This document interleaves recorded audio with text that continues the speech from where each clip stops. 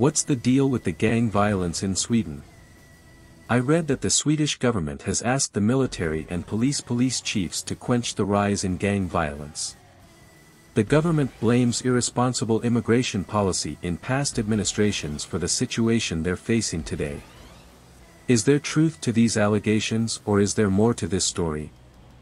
They also said there was a migrant crisis in 2015 that triggered a change in the immigration policy. What happened in 2015? Answer, first I must add. The military is not right now gonna be at our streets. The Swedish law doesn't allow this.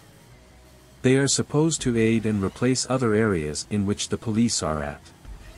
So more cops can be working to stop the gang violence. It is said that the government will look into the laws and make it possible for the military to aid the police more. But ATM it's not possible. To the violence. Immigration has been flooding to Sweden as all of Europe. And now second-generation immigrants are very much represented in this. Actually statistics from BRA, a part of the government only looking into crimes when it comes to numbers, statistics, shows exactly this. Why it comes to this? Hard to tell.